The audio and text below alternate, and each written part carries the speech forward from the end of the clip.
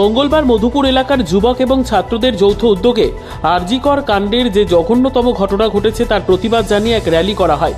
Madhupur school Chowmuhani থেকে শুরু হয়ে মধুপুর বাজার ঘুরে মধুপুর হাসপাতাল চত্বর পর্যন্ত ঘুরে এসে মধুপুর গোডাউন চৌমুহনীতে শেষ হয়।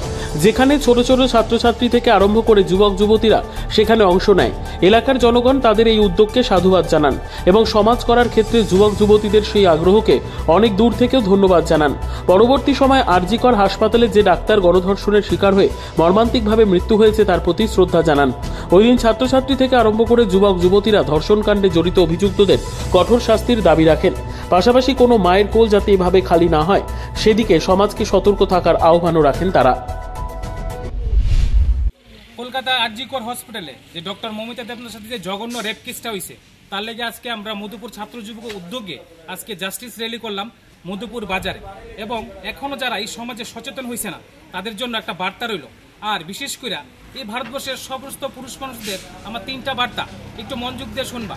নারীরা কোনোদিন বাজারে বিক্রি করা মাংস না, যে তাকে একশো তেরোটা কামড়ে মারা হইব। নারীরা কারোর ব্যাংক ডিপোজিট অ্যাকাউন্ট না, যে তাদের শরীরে দেড়শো গ্রাম বীর্য দেওয়া হইব।